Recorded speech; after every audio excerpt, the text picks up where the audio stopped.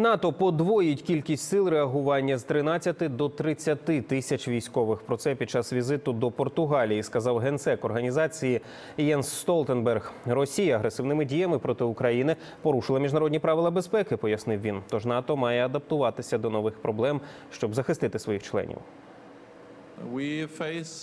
Ми всі зіткнулися з новою безпековою ситуацією, коли Росія використовує силу, щоб змінити кордони, анексувавши частину іншої країни, так як вона зробила це в Україні, анексувавши Крим.